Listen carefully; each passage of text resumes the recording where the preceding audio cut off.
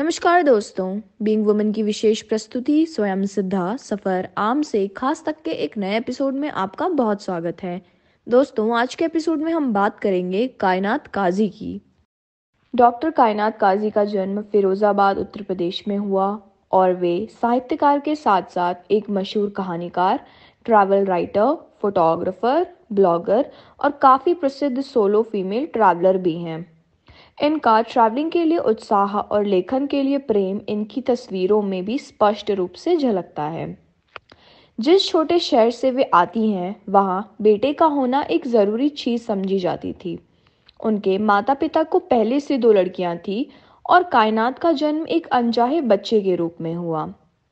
उनकी माँ को बहुत समय तक अक्सर ये बात कही जाती थी कि बेचारी को लड़की हो गई। वे जब बड़ी हुई, तब भी उन्हें यही कहा जाता था कि काश उनकी जगह बेटा हुआ होता तो अच्छा होता।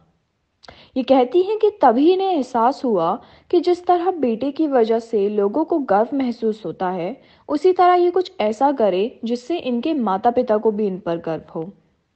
ये कहती हैं कि इनका परिवार पढ़ने लिखने का शौकीन था। जिस वजह से जब ये तीन, साढ़े तीन साल की थी, तब से इनके घर में किताबें आने लगी।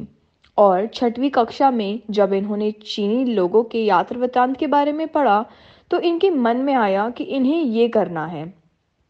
कायनात की पूरी पढ़ाई केंद्रीय विद्यालय और हिंदी मीडियम स्कूल्स में हुई और हिंदी से पीजी करने के बाद इन्होंने मास कॉम में पीजी किया। उसके बाद इनके मन में आया कि इन्हें कुछ अलग करना चाहिए। कायनात के ट्रैवलिंग लेखन और फोटोग्राफी के लिए जोश ने राहगिरी को रास्ता दिया। राहगिरी भारत का पहला हिंदी ट्रैवल फोटोग्राफी ब्लॉग है।